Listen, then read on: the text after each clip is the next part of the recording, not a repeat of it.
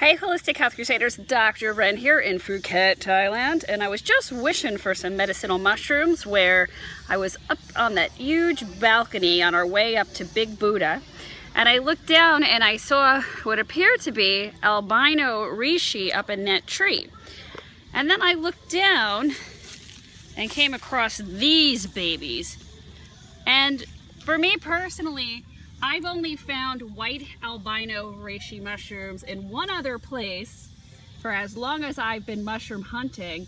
And it actually happened to be on a dead hemlock stump in the neighborhood that I grew up in. Now the different colors represent different things. Uh, typically red is the most popular for heart and everything. And these are white, which in Chinese medicine are good for lung and grief.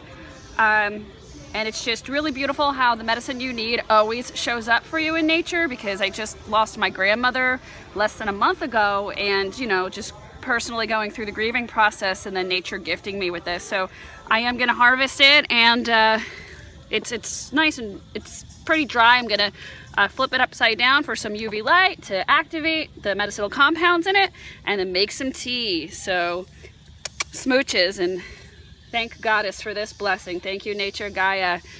Woo.